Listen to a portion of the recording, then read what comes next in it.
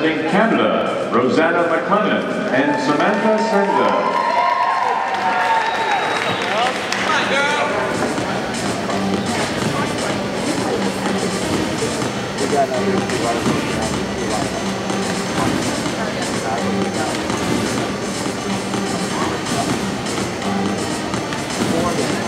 One of them is